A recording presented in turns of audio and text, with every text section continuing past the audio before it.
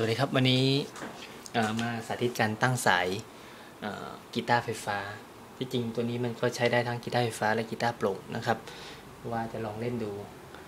ไม่ได้เล่นนานแล้วนะครับ อันนี้กีตาร์ Ibanez นะครับ จะลองเล่นกับ POD Farm เวอร์ชัน1.1 กับเครื่อง Mac มันจะเชื่อมต่อตัว Mac นี้ กับตัวนี้ UX1 ยี่ห้อ l i 6ครับ เป็นเขาเรียกว่า audio interface มันจะเสียบเข้าตัวนี้ แล้วเข้าตูดของมันนี้นี่ครับ แต่ก่อนที่จะเป็นอย่างนั้นเนี่ย ก่อนที่จะเล่นตัวเนี้ย มันต้องตั้งสายก่อน วิธีการตั้งสายกับตัวนี้ครับ มันจะเป็นเขาเรียกว่าเมทรโนมก็ได้ เป็นตัวตั้งสายด้วยก็ได้นะครับ สมมติว่า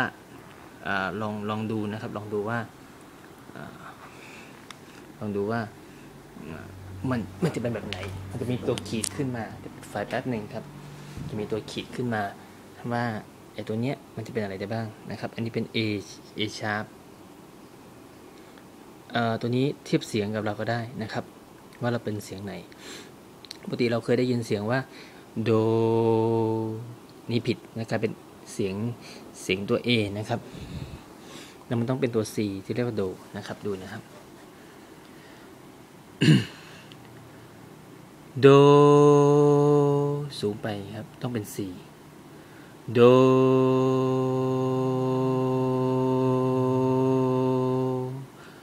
เร เห็นไหมครับ C D E F นะครับ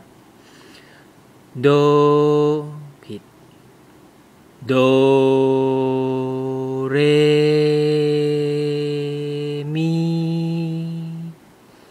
ครับ C D E F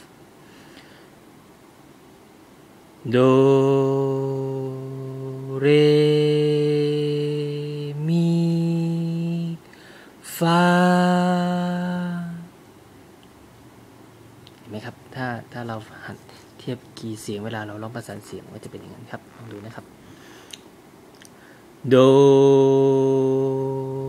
ไม่นิ่ง เป็นเป็น C ชาร์ปขึ้นมาเป็นครึ่งเสียง โด